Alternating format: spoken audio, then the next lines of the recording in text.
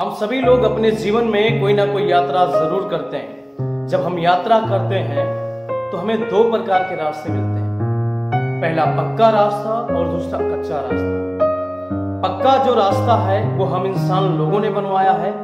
और जो कच्चा रास्ता है, हम लोगों के लगातार पैदल चलते चलते पैर के दबाव से वो रास्ता तैयार हो गया। है उसी प्रकार ये सफलता भी है। अगर आप सफलता पाना चाहते हैं तो लगातार चलते रहेंगे लगातार परिश्रम करते रहेंगे तो सफलता आपको ज़रूर मिल जाएगा।